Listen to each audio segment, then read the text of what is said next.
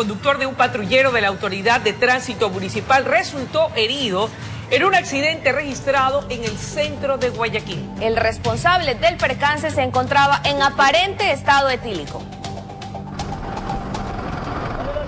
La colisión vehicular se registró esta madrugada, mientras un equipo de la Autoridad de Tránsito Municipal remarcaba los pasos cebras y demás señalizaciones en la avenida Machala y Colón, en el centro de la urbe. Obviamente el compañero, el conductor, tiene que estar lo que es ahí ubicado para salvaguardar lo que es la vida de los señores que están haciendo pintando lo que son las la señaléticas en la calzada, cuando siendo lo que es el impacto del vehículo.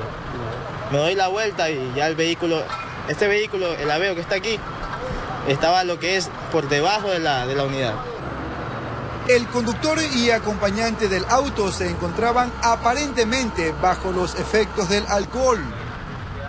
Según los uniformados, los sujetos intentaron escapar, pero fueron interceptados a tiempo. Inmediatamente lo llevamos lo que es a la, a la unidad judicial. ¿Se percibía de licor? Sí se le percibía de licor, pero igualmente este, se le va, mediante documentos, se le va a hacer lo que es una prueba de alcoholemia. El señor tenía una, una camisa de un equipo conocido aquí, lo que es en Guayaquil. Este, se percibe que habrá venido este, Festejando. y se habrá pasado lo que es de copa.